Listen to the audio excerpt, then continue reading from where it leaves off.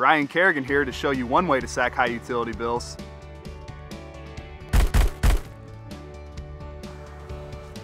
A better way for area homeowners to beat down high utility bills is to call my friends at Thompson Creek Window Company.